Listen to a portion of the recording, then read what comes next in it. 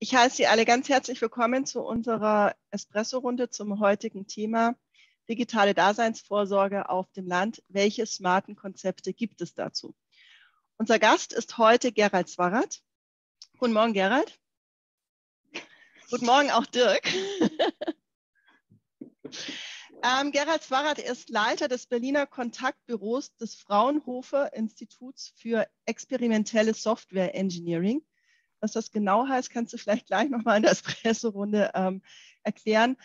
Gerald Zwarat hat aber auch Bücher äh, zu dem Thema geschrieben. Ähm, er schreibt die Konzepte und was ich total spannend finde, er ist Geisteswissenschaftler. Das heißt, dass er das Thema auch gerne aus einem philosophischen Blickwinkel betrachtet, womit der Dirk als Jurist heute fertig werden muss. Und damit übergebe ich das Wort ähm, an Dirk Arendt und der Vollständigkeit halber noch Leiter des Public Sektors bei Trend Micro. Wunderschönen guten Morgen. Das war jetzt echt eine Herausforderung, Karin. Und wir haben es im Vorgespräch ja schon gemerkt. Äh, meine Herausforderung ist, ähm, ich muss Gerald an der einen oder anderen Stelle stoppen, wenn er anfängt zu philosophieren. Gerald, aber mal ganz kurz vorweg, so, wir haben immer so eine Standardfrage. Bist du morgens so der der Teetrinker, der Kaffeetrinker oder auch tatsächlich Espresso-Trinker? Ja, ich bin tatsächlich Kaffeetrinker morgens, ja. Aber heute Espresso-Trinker aus Leidenschaft. Ja. Und mit Sicherheit, Dirk. Vielen Dank, vielen Dank. Oder war das dein Karlauer? Nee, das ähm, habe ich noch nie gemacht. Äh, aber ich äh, versuche immer auf Sicherheit hinzuweisen. Die zweite Frage, die wir in den letzten Wochen immer gestellt hatten, war ähm, Digitalministerium ja oder nein. Jetzt sind wir ja einen Schritt weiter. Wir haben eine Bundesregierung. Das ganze Thema Digitales ist jetzt so im Verkehrsministerium wieder. Hättest du lieber ein Digitalministerium gehabt oder siehst du ganz viel Hoffnung jetzt in diesem Verkehrsministerium, was ja auch Digitales jetzt plötzlich heißt? Ja, ich, ich hätte jetzt aus dem Bauch heraus immer gesagt, ich hätte kein Digitalministerium gebraucht, aber ich hätte es jetzt auch so jetzt nicht gebraucht. Ich glaube, es wollte jetzt keiner mehr wirklich haben oder hatte da nicht die richtigen Leute, die noch frei waren. Und dann ist es jetzt so gekommen. Und ja, mir als Geistwissenschaftler ist es natürlich zu kurz, jetzt die große Transformation unserer Gesellschaft in ein Verkehrsministerium zu stecken. Ne? Das ist schon, schon bitter. Ne? Aber ich muss auch mal sagen, philosophieren ist, ist fies. Ne? Ihr stellt mich das da schon so ich mache jetzt nicht den Precht. Ne? Also es gibt Philosophen, die durchaus das Recht haben, sich so zu nennen.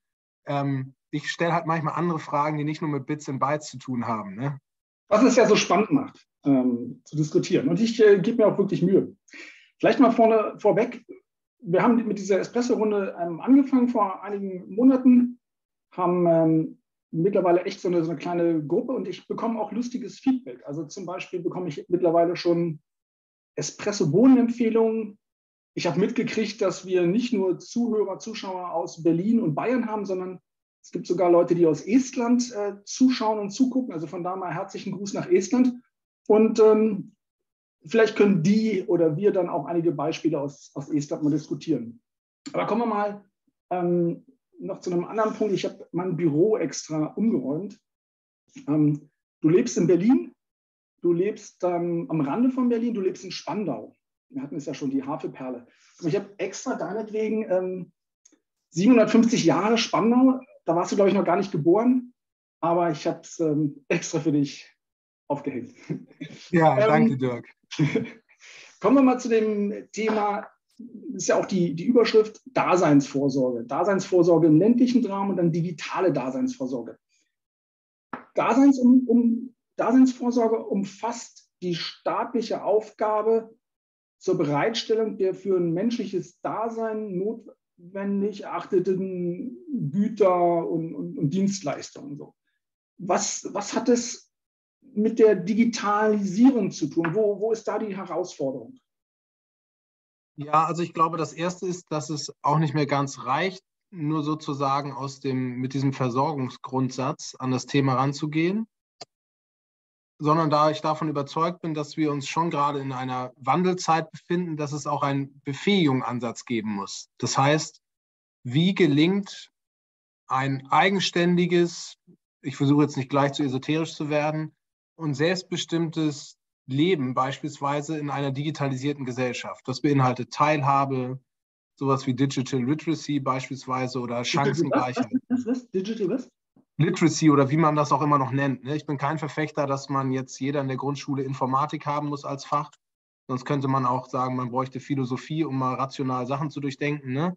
Also ich meine halt so, wir haben dieses Bildungsproblem in Deutschland. Wir sind super in speziellen Bildungssachen. Wir haben Top-Ingenieure, aber diese allgemeine Kompetenz, also ich würde das ungern in verschiedene Kompetenzen unterteilen, sondern die Kompetenz mit dem Leben und den Dingen in ja, Dialog zu treten und damit klarzukommen sich auch anzupassen an, an neue Gegebenheiten und auch damit umzugehen, dass wir Kinder jetzt für Jobs ausbilden müssen, die es noch nicht gibt, sozusagen. Also diese Zukunftskompetenz, die gehört für mich auch dazu und die hat auch in Stadt und Land bereitzuhalten. Und halt auch nicht nur für unsere super neue, extrem hohe Mittelschicht der Berliner Großstädte, sondern auch für die, die, die jetzt in den Lockdowns den Leuten und die Gorillas und all die, die sozusagen, wenn man nach Reckwitz geht, in dieser neuen Dreiklassengesellschaft im Prinzip nach unten fallen. Ne? Und das heißt, es gibt verschiedene Lebenswirklichkeiten, die wir mit dem Konzept abholen müssen. Und deswegen glaube ich, dass der digitale Wandel halt viele gesellschaftliche Entwicklungen noch verschärft und deswegen auch diese Aufspaltung der Gesellschaft schon noch auch verdeutlicht und die auch zwischen Stadt und Land stattfindet. Und das heißt, Digitalisierung macht einerseits diese Infrastrukturthemen, die du meinst, effizienter. Dann kannst du sagen, es ist toll, wie ich immer sage, die Blockchain-optimierte KI-Mülltonne. Aber auf der anderen Seite hat es auch so Sachen, die für die Zukunft dann wichtiger sind, wie wir ein gutes Leben führen mit all diesen digitalen Möglichkeiten und Problemen, die damit einherkommen. Es ist also nicht nur Wasser und Telekommunikation. Warte, warte, warte, warte. Ich, ich muss, glaube ich, dich, ich, ich, glaube, du könntest anderthalb Stunden reden. Ich muss da irgendwie ab und zu unhöflicherweise dazwischen grätschen, aber es ist, ist, ja auch super spannend. Aber wo siehst du jetzt den großen Unterschied zwischen der, der ländlichen Region und der Stadt? Ich meine, du wohnst so in, in Berlin, fast schon in Brandenburg. Du hast den Blick auf beide Seiten. Wo, wo ist der große Unterschied? Ja, ich sage mal, das ist der ländliche Raum von Berlin, ne, um mich ein bisschen zu entschuldigen. Ähm, naja, es ist einerseits, dass wir schon mal nicht so einen Schmelztiegel an innovativen Leuten haben, um so ein Ökosystem zu machen der Wissensarbeiter, ne? diese Wissensökonomie, die hier in Berlin super Infrastruktur hat. Und vor Ort haben wir dann, dass dort äh, viele, die gut ausgebildeten wegziehen. Der Trend kommt jetzt hoffentlich zurück, das ist meine These. Aber das heißt, wir haben von diesen klassischen alten Infrastrukturen das Problem der Masse und sie sind dann nicht mehr rentabel. Und wir haben natürlich auch den den Ausbau von schnellem Internet. Und das begünstigt halt den Effekt, dass die Regionen immer weiter ausdünnen und wir sozusagen auf der einen Seite die klassischen Infrastrukturen nicht mehr mit den alten Geschäftsmodellen funktionieren und auf der anderen Seite es kein gutes Lebensumfeld mehr gibt, um ja für Familien und Arbeitnehmer ein attraktiver Wohn- und Arbeitsort zu sein. Und dort sozusagen auch Fortbildungsmöglichkeiten, Möglichkeiten der Gemeinschaft, wie, wie, wie entwickelt sich eine Gemeinschaft vor Ort in einem Dorf-Ökosystem. Ähm, also beispielsweise es fehlen auch die sozialen Gefüge. Es gibt keine Kneipen mehr, es gibt keine vitalen Marktplätze mehr. Und das gehört für mich mit dazu. Aber ist es nicht für die meisten Leute auf dem Land oder auch in der Stadt ein, dieser Marktplatz, ist das nicht Facebook geworden oder andere soziale Netzwerke? Hilft es nicht? Ja, das hilft, aber ich würde mich wirklich schon die Frage stellen, ob so Sachen wie, wie Geborgenheit ähm, in Beziehungen sich beispielsweise virtuell abbilden lässt. Und genauso, ich bin mir auch nicht sicher, ob sich Gemeinschaft virtuell abbilden lässt. Es lässt sich im, in der negativen Spirale von Telegram, lässt sich schnell eine Gemeinschaft finden, die mich selber ne, in die Echokammer zieht. Aber ich glaube, das andere findet, und das ist auch die große Krise der Stadt, das muss halt im, im realen vor Ort stattfinden. Dass man gemeinsam eine essbare Stadt baut, dass man gemeinsam am Kindergarten ein Beet macht und renoviert. So, das sind Sachen, die, die vor Ort Erlebnisse schaffen, die sich halt nicht abbilden lassen. Und deswegen haben wir keine Konzepte für die Innenstädte heutzutage, weil wir denken, das ist ein Problem der VR-User-Journey, die die Marketing schon irgendwie klären wird. Ne? Jetzt haben sich ganz viele Menschen in den letzten Jahren mit riesigen Smart City-Projekten beschäftigt. Und warum bist du dann jetzt so der Außenseiter, der sich plötzlich so mit dem ländlichen Raum, mit Smart Country beschäftigt? Warum, warum ist es eine Chance? Ja, es ist nicht nur eine Chance. Die Zeiten sind schon, du weißt selber, Dirk ist der Grund, warum ich 2014 mit Smart Country auch angefangen habe. Ähm, damals war es eine Chance, die aber dort schon einen handfesten, handfesten politischen Hintergrund hatte. Und gerade gestern kam wieder vom Redaktionsnetzwerk Deutschland eine Befragung raus, jeder zweite Deutsche hat kein Vertrauen ins politische System. Und ähm, wir sehen in den ganzen Wahlergebnissen, insbesondere in ländlichen Regionen, dass die die versprochene Zukunft aus den politischen Kongressen nicht für alle zutrifft. Das heißt, auf 47 Millionen Menschen in Deutschland leben in eher ländlichen Regionen. Und was haben die von diesen ganzen Themen, wie sie in den letzten 15 Jahren besprochen haben? Was bringen die, ähm, die Smart City-Programme in Friedrichshafen der Telekom beispielsweise, dass da großartig gescheitert ist? Und ähm, das sind halt andere Konzepte, die gebraucht werden. Und ähm, das war der ganz klare Anspruch zu sagen, wenn man nicht jeden zurücklassen will, jeden zweiten Menschen, dann müssen wir über alle reden. Und Deutschland ist halt einen ländlichen Raum nicht nur als romantischen Rückzugsort fürs Wochenende mit Schimmeln und Kutsche, wo man seinen Hochzeitsantrag macht und dann wieder nach Friedrichshain flüchtet, sondern da sind sehr viele Hidden Champions.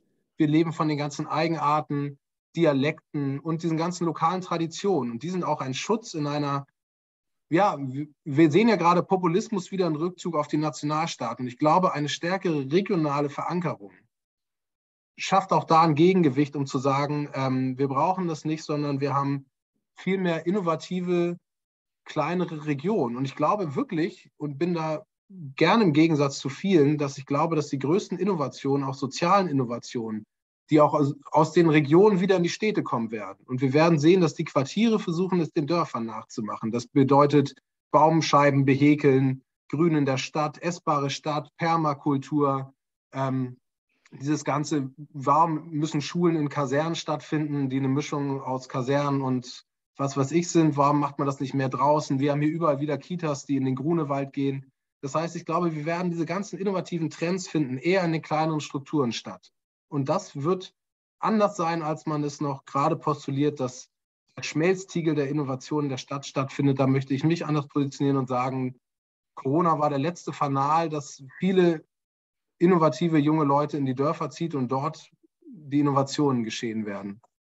Ich würde jetzt gerne wissen, wie du deiner Frau den Heiratsantrag gemacht hast, aber lass mal mal sein. In der Uckermark, glaube ich. Ne? Auf dem Schimmel. ähm, jetzt forscht ihr da schon eine ganze Weile. Was sind denn so die, die Projekte, die Ergebnisse aus diesen Projekten, wo du sagst, Mensch, das sind so Sachen, die kann man dann auch woanders hintragen, die kann man ja, multiplizieren, dass davon alle profitieren?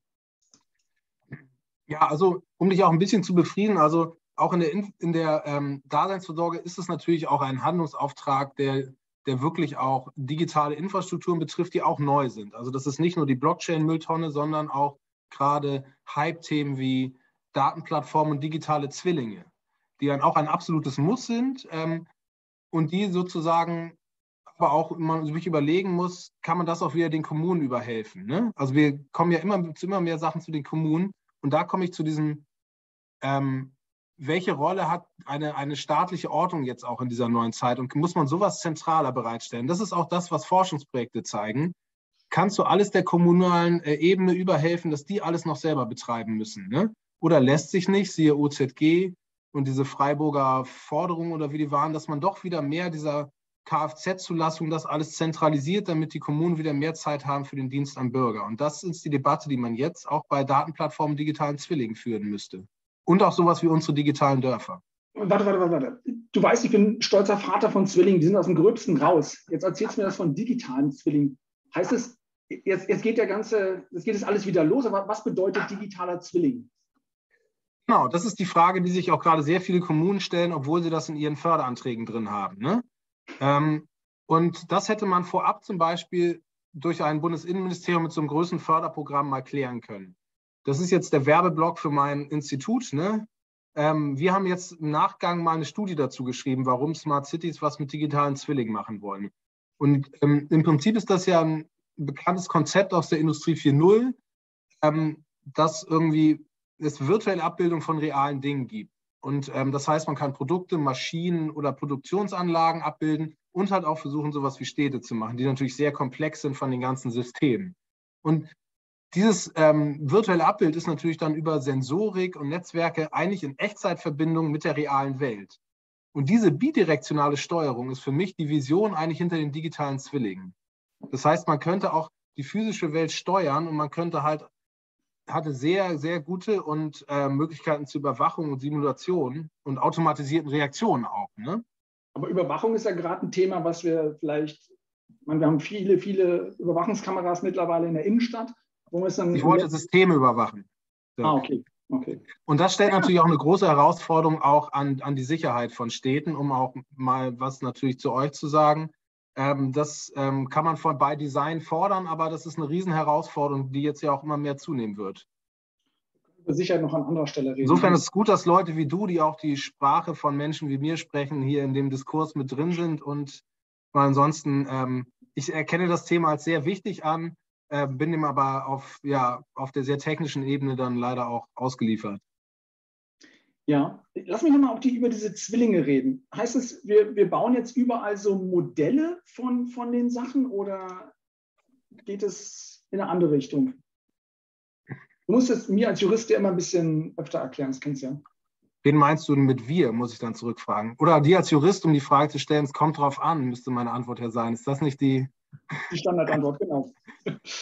Nein, aber was, was, bedeutet so ein digitaler Zwilling jetzt für mich, wenn ich ähm, auf dem Dorf lebe? Ich äh, gucke da auf die Elbe. Ähm, was, was, bedeutet es für mich und meine, meine Nachbarn hier? Ähm, ja, das glaube ich ja eben nicht, dass es so wichtig ist. Das ist ähm, wir sind gerade erst am Anfang, dass diese Konzepte auf die Datenplattform eigentlich aus von der Verwaltung kommen und auch gerade erst Use Cases vielleicht entwickeln, die der, der, der Verwaltung helfen. Das ist ja meine Standardkritik dass man Strategien, die sich Smart City und Smart Region nennen, nicht nur aus der Verwaltung denken kann. Und ähm, das heißt, ich glaube nicht, dass es bislang große, tolle Use Cases gibt. Da können mich gerne Leute im Chat massiv beschimpfen, die dort einen Mehrwert im täglichen Leben von Familien machen. Ich kann mir vorstellen, dass es Use Cases irgendwann geben wird, wie man den Zufriedenheitsgrad und den Happiness vielleicht messen kann von Städten. Und wenn das transparent ist, dann könnte das durchaus auch ein Hebel sein, ähm, also es kann ein Hebel sein, um, um Verwaltungsleitung zur Transparenz zu zwingen, beispielsweise, wenn die Dinger wirklich offen sind. Ich glaube, das wird noch ein interessanter Moment, wenn man feststellt, dass diese Transparenz natürlich nicht nur Sachen ja, betrifft, die die Bürgermeisterchen gern hören wollen. Ja, okay. Ähm, du hast jetzt so ein bisschen so Kritik anklingen lassen an diesen ganzen smarten Konzepten. Jetzt ähm, so Smart City sind so diese Beispiele, du rennst mit deinem Smartphone von Laterne zu Laterne und die geht dann an und wir können. Ist das, ist es wirklich so dieses Konzept, was, was so ein Smart City oder dann an die ländliche Region übertragen wirklich braucht? Oder hat es nicht eher andere Anknüpfungspunkte, die das Leben sinnvoller und ertragreicher machen könnten? Ja, also das ist natürlich auch ein bisschen zugespitzt, weil ich da schnell in die Rolle reinrutsche, weil es mir auch leicht von der Lippe geht. Ähm, der Verhinderer. Ja, das ist fies. Ähm, das muss ich jetzt deutlich verneinen und, und sagen, dass, es, dass wir bislang in Europa und Deutschland gut gefahren sind, einen bedächtigen Weg der Digitalisierung zu gehen, Dirk. Und deswegen würde ich mich nicht als Verhinderer, sondern als Mahner ansehen, dass es nicht um Digital First geht, sondern um Denken First. Und wow. ähm, ja, also ich glaube, dass wir das, dass wir beides brauchen. Also mhm. datenbasierte Förderprogramme die unter der Prämisse der Nachhaltigkeit stehen und der kommunalen Souveränität, mhm. sollten in dieser Legislaturperiode definitiv kommen. Komm, kommen wir gleich auf die Legislaturperiode. Ich habe noch so ein Beispiel für dieses Smart, was ähm, ich habe ein lustiges Foto in den letzten Tagen irgendwo gesehen und äh, die, die Kollegin und der Kollege aus Estland können es äh, vielleicht bestätigen. Es gab so ein tolles Bild in, in Tallinn, glaube ich, äh, fahren so ganz viele kleine Lieferroboter. Die sehen so ein bisschen aus wie so kleine Teletubbies oder so. Und das, das funktioniert super. Und jetzt hat man die entwickelt und die laufen und so. Und plötzlich passiert was ganz Verrücktes in Estland. Es hat geschneit. Und die, genau. Und die stehen dann da alle. Also mittlerweile können die wohl sprechen und sagen, Mensch, schieb mich doch mal an und so. Aber so dieses, da ist was Cooles, Smartes, Lieferroboter, die wie doof durch die Straßen fahren. Ich will die vielleicht bei mir gar nicht haben. Ich weiß, ich bin noch am Überlegen, am Zweifeln. Aber dann kommt so ein Naturereignis, was nicht unerwartet ist, dass es im Winter auch mal schneit. Also so. Ja, Genau, und da muss ich natürlich ähm, völlig überspitzt fordern, dass es doch jetzt endlich mal der Punkt ist, wo wir über Fußbodenheizung in Städten nachdenken müssen, weil das ja nicht sein kann, dass unsere lineare technologische Innovation, die schließlich verantwortlich ist für unser gesamtes Wohlstaat, Wohlfahrts- und ja, Wohlstandsverständnis seit dem Zweiten Weltkrieg ist, dass das jetzt tatsächlich an natürlichen Gegebenheiten scheitern kann. Das ist genauso wie diese elenden Bienen. Wenn es die nicht mehr gibt, brauchen wir eben Bestäubungsdrohnen. Und wenn man das nicht zu Ende denkt und hinterfragt, ob das wirklich sein muss, ähm, ja, das ist schon, schon bitter, sowas. Ne? Also schön, dass es solche Meldungen noch gibt. Ne? Ich würde, wünsche mir weiter und dass es nicht eine Frage meines Einkommens ist, dass ich Menschen als Pfleger und als Paketzusteller habe. Wir sollten vielleicht eher darüber reden, wie man die besser bezahlen kann. Äh, zwei schöne Stichworte, Bienen und Bitter. Äh, wir haben in den letzten Wochen einen, einen Espresso-Gast gehabt. Äh, die Dame war aus Bitterfeld ähm, und hat smarte Bienen gehabt. Also die kontrolliert permanent, ähm, wie die Bienen einfliegen, wohin sie fliegen und so weiter. Also das äh, war jetzt der Werbeblock. Ähm, wenn wir über dieses, über dieses ländliche reden, über den, die ländliche Region attraktiver zu machen. Ist es da nicht aber auch so ein Punkt, dass man so über alltägliche Sachen nachdenken muss, dass man vielleicht einfach mal sagt, okay, wir brauchen eher funktionierende Krankenhäuser als ähm, irgendwelche smarten Ansätze? Ja, ähm, es ist natürlich schwierig jetzt ähm, sozusagen Ordnungsparadigmen mit Hilfe von digitaler Vernetzung lösen zu wollen. Ne? Und wenn du jetzt sagst, diese Privatisierungswelle der 80er und 90er Jahre, die beispielsweise auch in Berlin den Wohnungsmarkt, ähm, die Krankenhäuser und viel, viele kommunale Lösungen der Daseinsvorsorge wurden ja privatisiert. Und jetzt kommen wir natürlich in eine Zeit auch, die da wieder ein bisschen zurückdreht. Ne? Also wir kommen jetzt schon dahin, ich glaube, Reckwitz hat jetzt wieder diesen eingebetteten Liberalismus da vorgeschoben als Begriff, äh, nicht vorgeschoben, sondern wieder in die Diskussion gebracht, dass sozusagen die Regulierung bei gleichzeitiger Offenlassung und Akzeptanz, dass wir in einer globalisierten Wirtschaft sind, ähm, das hinzukriegen. Und das sind jetzt wirklich die Debatten, wie die ordnungspolitische Funktion des Staates da ist in diesen Bereichen. Und natürlich ist das eine Debatte, aber zeitgleich müsste die Digitalisierung dabei helfen, dass wir Pflegenetzwerke aufbauen können vor Ort, dass wir auch Lösungen haben, die es den, ja, dem Personal in den Notarztwagen einfacher macht, die Leute in die Krankenhäuser zu bringen, wo die richtigen Geräte sind, wo Betten frei sind. Das sind Sachen, die wir auch gerade viel testen ähm, dass man da sozusagen im Wagen schon die richtigen Infos hat, besonders in Flächenländern. Und ähm, diese Pflegenetzwerke vor Ort lassen sich auch über, über digitale Ökosysteme miteinander vernetzen. Aber es folgt alles unter der Prämisse, dass es ein Mehr an Miteinander und an sozialen Kontakten eigentlich geben muss. Ne? Und dann muss das parallel laufen. Die digitalen Dörfer, Entschuldigung, muss ich ja sagen, die beruhen ja alle nur darauf, dass wir versuchen, die Gemeinschaft zu stärken. da haben wir ja sowas wie äh, wie, wie den Dorffunk sozusagen, der das Facebook fürs Dorf ist, um es platt zu sagen, in dem man dann auch so einen Mengemelder integrieren kann und in dem man viele Sachen sozusagen einfach im, im souveränen Betrieb der Kommune dann beispielsweise auch lösen kann. Das ist dann keine neue Erfindung, aber es sind Möglichkeiten, selber diese Sachen bereitzustellen. Man kann meckern über Hyperscaler und Netzwerke, über Telegram. Du kannst es versuchen zu verbieten. Aber wenn man keine attraktiven Alternativen schafft, dann wird diese Regulierung ins Leere laufen, weil die dann andere Wege finden. Trump baut seine eigene Plattform. Und wenn wir dann nicht die, die Mittel, die wir jetzt haben, konsequent durchziehen, wie eine, wie eine Nachverfolgung in Netzwerken, dann ist das Hohn die Debatte, weil sie halt wieder nicht ernsthaft geführt wird. Aber jetzt hast du genau die Aufmerksamkeit hier und kannst mal Forderungen an die sich neu gegründete Regierung, an die einzelnen Ministerien ähm, aufstellen. Was, was wären so die Sachen, die du, wo du sagst, ey, das müssen wir jetzt wirklich richtig schnell mal unbedingt angehen. Ja, ich, ja, damit überforderst du mich jetzt. Ich möchte mich jetzt hier nicht, ähm, ich bin ja zum Glück nicht ein handfester Lobbyist, der jetzt hier seine Themen durchbringen will.